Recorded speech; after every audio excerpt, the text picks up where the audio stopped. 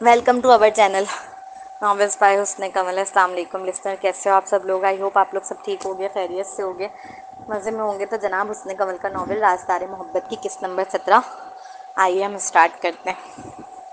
वो दोनों एक दूसरे को देख खासा शौक के आलम में थे। कितने वक्त बाद इस नाजुक व हसीन सरापे को देखा था। लगा जैसे रूह से लगा जैसे जिसम से रूह जुदा हुई हो। सिर्फ़ चंद माह ही तो गुजरे थे, मगर उसे लगा वो सदियाँ जी आया है। वो इस कदर भी यकीनी के आलम में था कि ना तो इर्द गिर्द की खबर थी और ना परवाह। नूर भी कब वहाँ थी, उसे भी कब इर्द गिर्द की परवाह बाकी रही थी, हटो। मेरी बहन के पास से तुम वो गाजियान था, जिसने इन दोनों को ही ट्रांस किसी कैफियत से निकाला और एक दूसरे से अलग किया। नूर का बाजू पकड़कर उसने आलियान को इतनी ज़ोर से सीने पर धक्का मारकर दूर किया था कि अगर वो वक्त पर ना संभालता अपने वजूद को तो यकीनन पीछे की जाने फर्श पर जाकर गिरता। कहने को गाजियान उम्र में छोटा था नूर से, लेकिन कद में वो उससे काफ़ी लंबा था। नूर उसके सिर्फ़ कंधे तक आती थी, वो पतला दुबला सा लड़का। अपनी बहन के सामने किसी चट्टान की तरह खड़ा हो गया था। आलियान को शदीद गुस्सा आया था। गाजियान की हरकत पर शिद्दत से दिल चाहा, एक ही पंच मार के दांत तोड़ दे साले के, मगर वो गुस्सा जब्त कर गया मुठियाँ भीज कर, चुके वो जानता था वो नूर का छोटा भाई है और नूर को बड़ा ही प्यार है। वो उसके खातिर रूबरू आ जाएगी, लड़ने पर उतर आएगी और वो इस वक्त उससे लड़ना नहीं चाहता था, हरगिज नहीं। पूरे माहौल पर गर्मा गर्मी तारी थी। गाजियान आलियान को ऐसे देख रहा था जैसे कच्चा चबा जाएगा। नूर के मोबाइल में जहाँ आलियान ने गाजियान की तस्वीरें देख रखी थी, वहीं गाजियान ने भी आलियान की तस्वीरें देख रखी थी। वो कम उम्र लड़का आलियान को नूर के सीक्रेट क्रश और बॉस के तौर पर जानता था, लेकिन जब से नूर ब्राज़ीलिया आई थी, बहुत उदास और रंजीदा रहा करती थी, अक्सर उस वो उसे रातों में रोते हुए भी देखा करता था। कहीं ना कहीं उसे अंदाज़ा था कि उसकी बहन के आंसुओं की वजह आलियान पता ही है। जब छोटे भाई कद निकाल कर आपके सामने खड़े हो जाएँ तो आपकी हिम्मत बनकर तो यकीन करें इस लम्हे से खूबसूरत लम्हा किसी बहन के लिए कोई नहीं हो सकता। पहले तो तुम्हें मुझे धक्का देने की ज़रूरत नहीं थी मैं तुम्हारी बहन को ही बचा रहा था गिरने से। दूसरी बात बड़ा हूँ तुमसे इज़्ज़त करो मेरी। आलियान मुश्किल अपना गुस्सा जब्त करे एक एक लफ्ज़ पर जमाव देकर खासा चबाते हुए अपने जुमले अदा कर रहा था जिसे गाजियान ने नाक से मक्खी उड़ाने वाले अंदाज में सुनकर इग्नोर किया। वो शख्स जो उसकी बहन को रुलाए उसे वो इज़्ज़त दे। हम्म, इससे पहले वो चुल्लू भर पानी में डूब ना मरे। गाजियान आलियान के सामने ही नूर का हाथ पकड़कर उसे ले जाने लगा था। जब पीछे से किए जाने वाले सवाल पर उसके कदम रुके। मेरे घर में तुम लोग क्या कर रहे हो? बस इस सवाल का कानों की समाज से, बस इस सवाल का कानों की समाज से टकराना था कि नूर मुंजमद हुई फिर और फिर हिल ना सकी। अपनी जगह से मेरे घर। नूर जेर लब बेयकीनी के आलम में बड़बड़ाई गोया, उसे अपनी समात पर यकीन ना आया। आता भी कैसे? जिस शख्स से भागकर वो इतनी दूर आई थी दर हकीकत वो उसी के घर चली आई थी। ये कैसा खेल था किस्मत का? आलियान बेसब्रा हुए जा रहा था। ये जानने के लिए कि नूर उसके घर में कैसे? ये हमारे डैड का घर है। गाजियान ने पलट कर अलियान की जानब देख खासा अकड़ कर जवाब दिया। माना वो यहाँ मुलाजमों की तरह रह रहे थे, लेकिन घर तो उनका भी था। चाहे कोई माने या ना माने, फिरोज साहब उन्हें इज़्ज़त और मोहब्बत देते थे। उन्हें बिल्कुल अपने बच्चों की तरह ट्रीट करते थे। यही वजह थी कि गाजियान इतनी पुरमादी से बोल रहा था तुम्हारे डैड। कौन? अलियान का दिल लम्हे भर में बंद होने को था। इसे तो अब याद आया था कि उसकी दादी कुछ दिनों पहले बोल रही थी। उसके वालिद की दूसरी शादी कराने का तो क्या उन्होंने करा दी? नूर की वालदा को देख रखा था उसने और ये भी अच्छे से जानता था कि मलाइका बेगम किस तरह की औरत है। इस औरत से कोई वईद नहीं थी कि वो पैसे के खातिर उसके बुढ़े बाप से दूसरी शादी कर ले। सांस तो सिर्फ़ ये सोच के रुक रहा था कि अगर वाकई ऐसा है, उसके वालिद की वाकई नूर की वालदा से शादी हो गई है तो फिर क्या करेगा वो? एक सेकेंड के करोड़वें हिस्से में भी वो उसे अपनी बहन नहीं मान सकता था और ना ही तस्वुर कर सकता था। उसे अपनी बहन बनाने का लियान ने महसूस नहीं किया, लेकिन सिर्फ़ लम्हा भर में उसकी पेशानी पर पसीना झलक आया था। फिरोज़ राजपूत, आजियान का अकड़ कर बताना था कि अलियान को महसूस हुआ कि उसके दिल के मकाम से मनो बोझ उतराओ उसने एक सुख की सांस भरी और अगले ही लम्हे गर्दन आड़ी करके नूर को देख मुस्कुरा दिया। वो मुस्कुराहट बहुत मायनी खेस थी गोया, कह रहा हो, अब भाग के दिखाओ मुझसे। अलियान के नज़दीक फिरोज़ साहब का मलाइका बेगम से शादी करना और नूट को राजपूत मेंशन लाना, वो अजीम कारनामा था जिसके खातिर वो उनकी पुरानी सारी गलतियाँ मुआफ़ करने के लिए तैयार हो जाए। अलियान के नज़दीक नूर उसकी थी, सिर्फ़ और सिर्फ़ उसकी, जिसे वो शुरू से ही अपने पास रखना चाहता था। अब वो उसी के घर में रहने वाली थी, उसी के पास, उसी के सामने। इससे अच्छी बात क्या हो सकती थी भला? याद है मैंने क्या कहा था आखिरी बार तुमसे? कि आइंदा मुझे अपनी शक्ल मत दिखाना। ज़िंदगी में।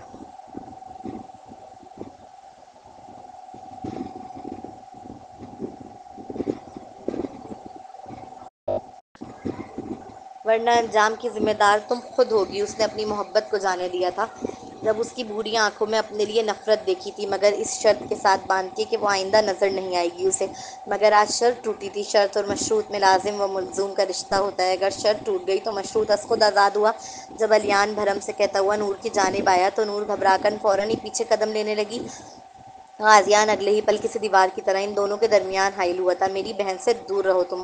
गाजियान ने भपर कर अलियान के सीने पर हाथ कर उसे मजीद आगे कदम लेने से रोकते हुए गुर्रा कर हकीमाना अंदाज में कहा और बस उसका कहना था कि अलियान ने गाजियान का वही हाथ जो उसके सीने पर रखा था, एक लम्हे में पकड़कर कुछ यूँ बल दिया कि अगले लम्हे पूरे लाउंज और डाइनिंग एरिया में गाजियान की चीख पूंजी वो उसके हाथ को उसी के कमर के पीछे कस गया था। बार बार नहीं कहूँगा मैं, इज़्ज़त से बात करो मुझसे बच्चे, तकलीफ़ की शिद्दत से गाजियान का सफ़ेद चेहरा मुकम्मल सुर्ख पड़ गया था, जिसे देखते ही नूर पैनिक हुई, मिस्टर अलियान, छोड़े मेरे भाई को।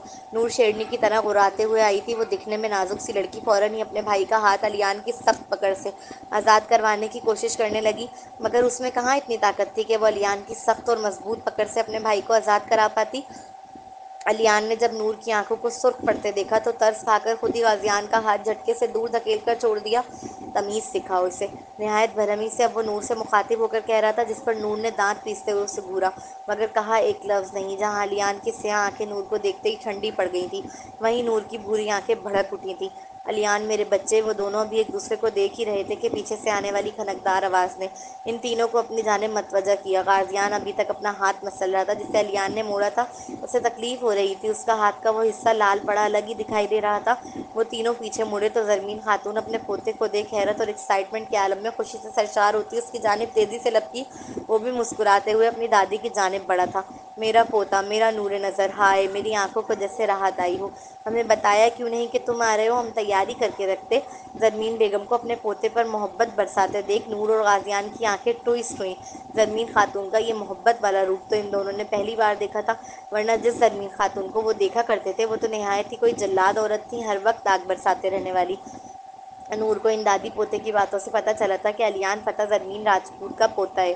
दुनिया कितनी छोटी है ना, इस बात का एहसास नूर को आज से हो रहा था, जिससे वो भागती फिर रही थी। दरअसल वो उसी के घर में बैठी हुई थी।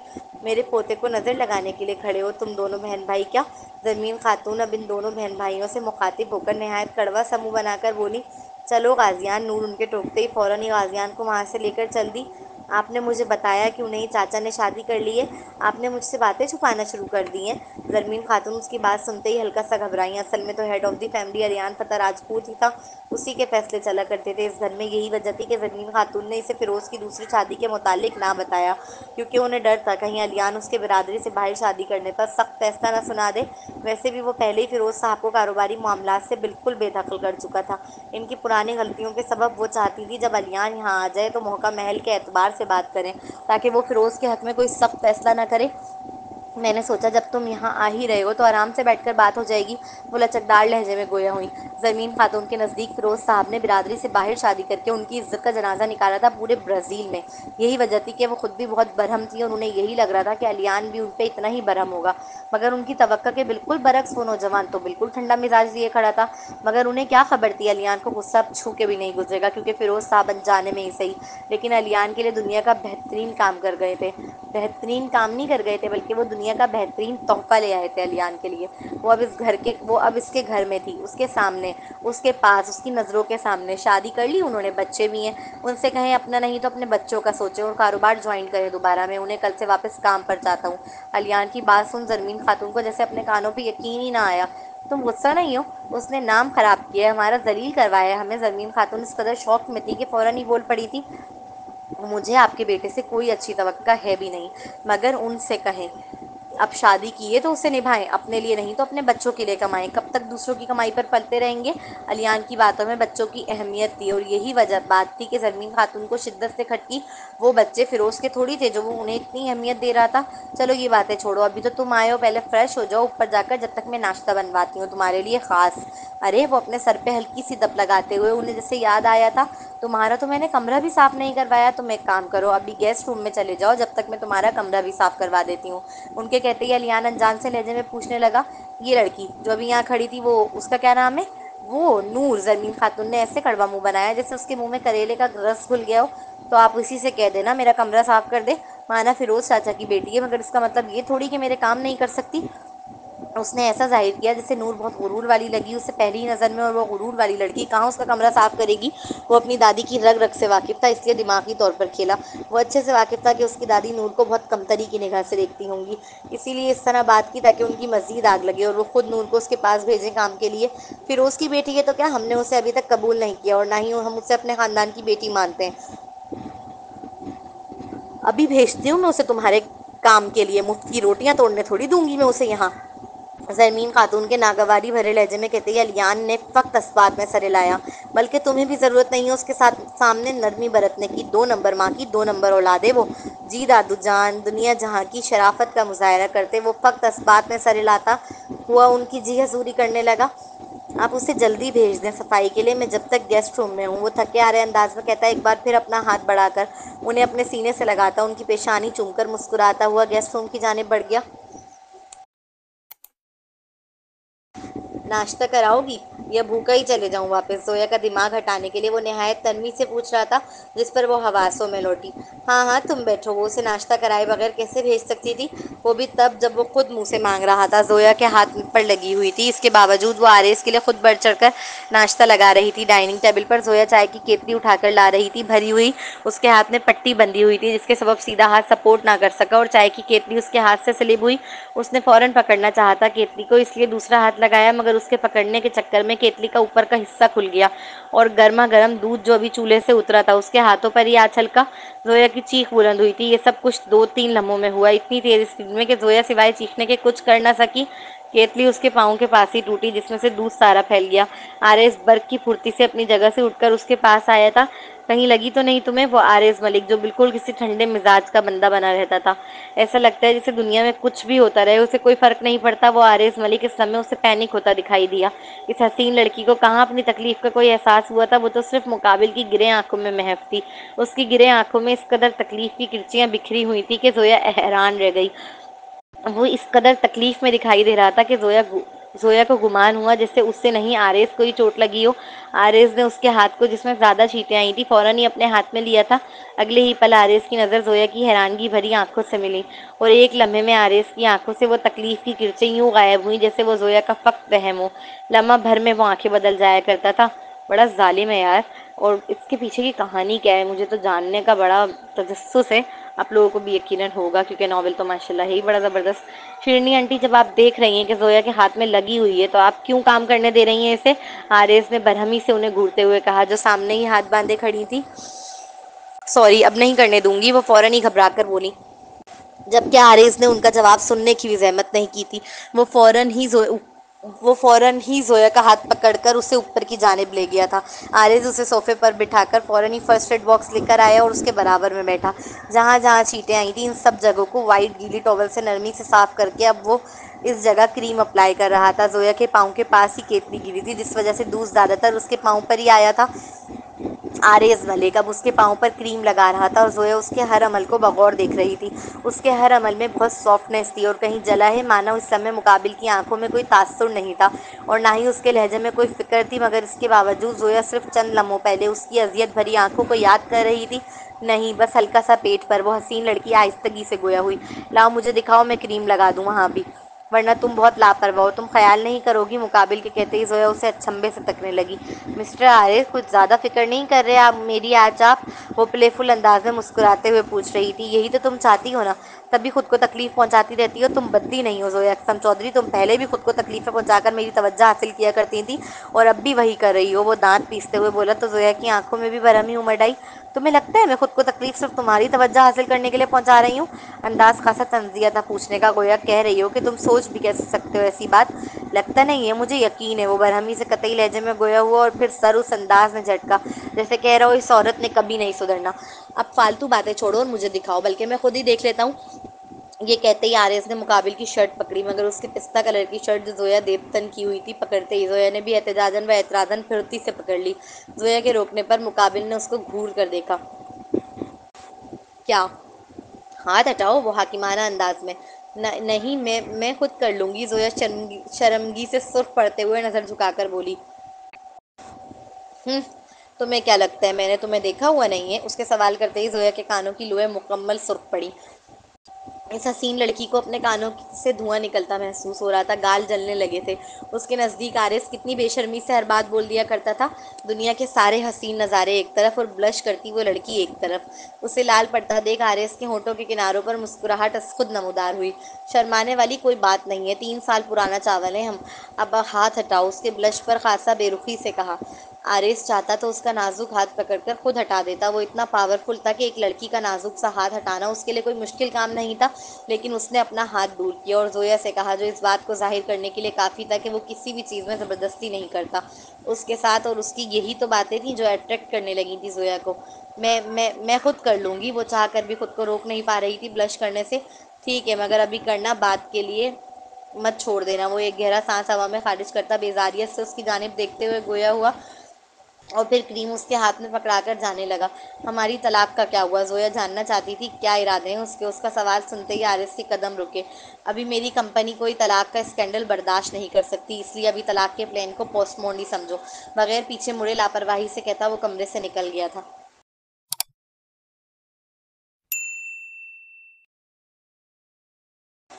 वहीं दूसरी जानब आई लव यू वो झुककर बेड पर नई चादर बिछा रही थी, जब पीछे से किसी मज़बूत हाथ ने उसे अपने हिसार में जकड़कर कान की लो के पास मुँह लाकर भराई आवाज़ में कहा। नूर का सांस रुका था, दुनिया का कोई शहद इतनी लज्जत नहीं देता जितनी लज्जत हराम काम देता है और जिसे उसकी लत लग जाए ना, उसके लिए बहुत मुश्किल हो जाता है इससे दूर भागना। नूर ने जब अपनी कम अकली में खुद को अलियान को पेश किया था तो दरअसल उसने खुद को हराम की लज्जत में मुबतला कर लिया था। मर्द और औरत कभी भी अकेले नहीं होते, तीसरा फरीक शैतान मौजूद होता है जो उन्हें गुनाहों के लिए उकसाता है। बिल्कुल। अलियान की गर्म साँसें और मीठी आवाज़ की सरगोशी नूर के औसान ख़ता कर रही थी। उसे पुरानी लज्जतें याद आ रही थी। वो बहकने लगी थी। अलियान, छोड़ो मुझे। उसके हाथों की जकड़ से खुद को आज़ाद कराने की कोशिश करती, वो जला कर बोली, मगर मुकाबिल ने अपनी पकड़ मजीद मज़बूत की। नूर का सांस फूलने लगा था। तुम्हें याद नहीं आती मेरी? वो उसके कान की लो पर अपने होठ मिस करते जब भराई आवाज़ में गोया हुआ तो नूर के जिस्म का रुआ रुआ खड़ा हुआ। पूरे जिस्म ने जैसे झरझरी ली। मुझे तो बहुत आई तुम्हारी तुम्हारी लम्स की, तुम्हारे होठों की, तुम्हार, वो अभी बोल ही रहा था कि नूर की आँखों के आगे इस रात की तारीखी छा गई। वो सांप, वो बिच्छू, वो अंधेरा, वो कीड़े मकोड़े, वो बेबसी, वो चीखे, वो आग से जलता बदन। अगले ही पल नूर उसकी बाहों में ऐसे तड़पने लगी, जैसे बिन पानी की मछली। पहले उसकी कोशिश बहुत कमज़ोर सी थी, लेकिन अब अब वो ऐसे फड़फड़ा रही थी जैसे उड़ान में ही उसकी जान है, अगर वो ना उड़ सकी तो मर जाएगी इसलिए लम्हे मैंने कहा, छोड़ो मुझे, इस बार जब वो चीखते हुए धाड़ कर उससे अलहदा हुई तो मुकाबिल लम्हा भर के लिए चौंका। अलियान, पता, अगर अब तुमने मुझे दोबारा छूने की कोशिश की तो मैं तुम पे हरसमेंट का केस कर दूँगी। वो शोला बार निगाहों से उसे तकते एक एक लफ्ज़ चबा चबा कर, वार्निंग आमे सहजे में बोली और फिर एक लम्हे वहाँ ना रुकी पता है, सबसे बड़ा इम्तिहान कब होता है? जब गुनाह का मौका मैसर हो, सालों पुरानी मोहब्बत था, वो सामने भी था। मौका भी मैसर था। किसी को कुछ खबर ना होती और फिर भी वो पीछे हट गई। ये था खौफ खुदा, ये होता है खौफ खुदा। गुनाह का मौका मैसर होना, तन्हाई का होना, मगर आपकी, आपका अपने कदमों को गुनाह की जानब ना ले जाना।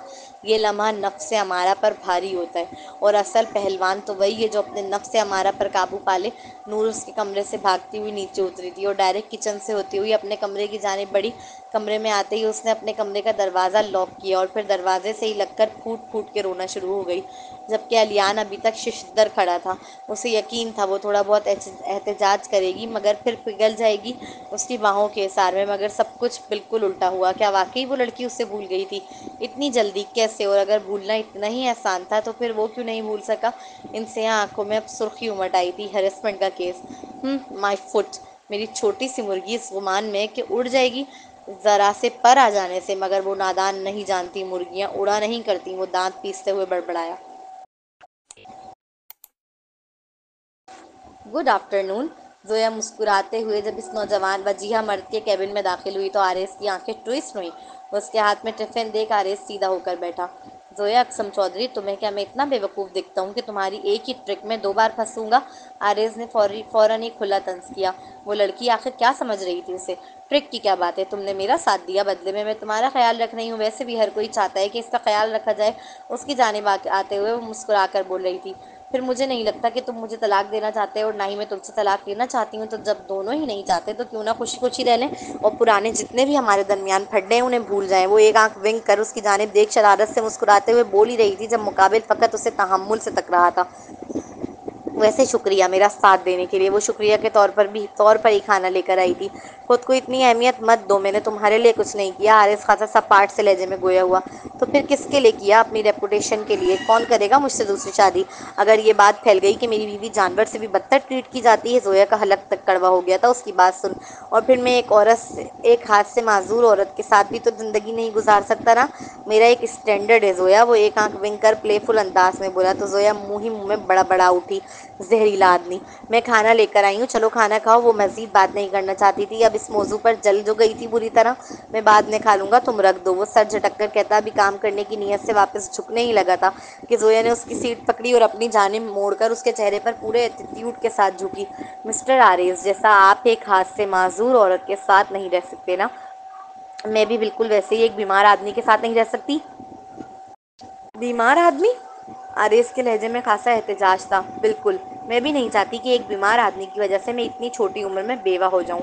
वो अपने गुस्से में पटर पटर बोल तो गई थी, लेकिन फिर उसे एहसास हुआ कि मौत तक पहुँच जाना ज़्यादा हो गया, जिसकी वजह से वो खुद ही शर्मिंदा हुई। उसे लगा था मुकाबिल जवाबी कार्रवाई करेगा, मगर वो बिल्कुल तहमुल से बैठकर उसे देखता रहा। उसकी आँखें इतनी गहरी थी कि जोया खुद ही नर्वस होकर उसकी सीट छोड़कर सीधी खड़ी हो गई।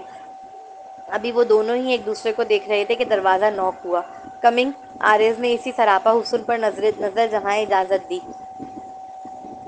आरिस देखो मैं तुम्हारे लिए खाना लाई हूँ। तहरीन पुरजोश व मुसरत भरे लहजे में कहती, जब कैबिन में दाखिल हुई तो जोया को पहले से टिफ़िन समेत वहाँ पाकर खासा हैरान हुई। जोया की निगाह भी सबसे पहले उसके हाथ में पकड़े टिफ़िन पर गई। ओ तो ये वजह थी जो तुम मेरा लाया हुआ खाना नहीं खा रहे थे? बता देते मुझे कि इंतज़ार कर रहे हो, मिस तहरीन का? जोया फ़ौर ही दांत पीसते हुए कुड़ते हुए बोली वाह नावल कैसा लगा आप लोगों को? आज की एपिसोड नावल की तो बताइएगा ज़रूर, मुझे तो बहुत अच्छी लगी। वैसे मुझे लगता है कि इस नावल में बहुत सारे राज छुपे हुए हैं। तो देखते हैं वो राज कब खुलते हैं। कब कब सारे राज खुलेंगे। जब राइटर साहिबा खोलना चाहेंगी खैर वो जब भी खुलेंगे। तो मिलते हैं नेक्स्ट एपिसोड में। जब तक के लिए मुझे इजाज़त दीजिए, दुआओं में याद रखिएगा। अल्लाह हाफिज़।